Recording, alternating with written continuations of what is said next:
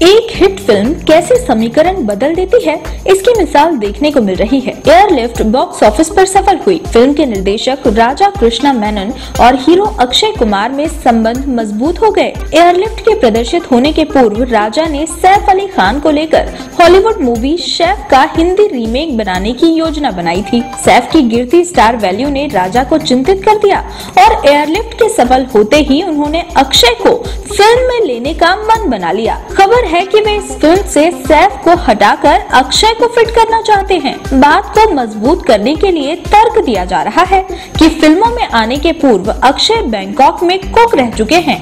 इसीलिए उन्हें अपनी भूमिका निभाने में आसानी रहेगी। दूसरी ओर सैफ फ़िल्म करना चाहते हैं। सूत्रों के अनुसार निर्माता पर उन्होंने खासा दबाव बना रखा है अनिर्णय की स्थिति बनी हुई है और फ़िलहाल अक्षय सैफ दोनों शेफ को लेकर आमने सामने हैं।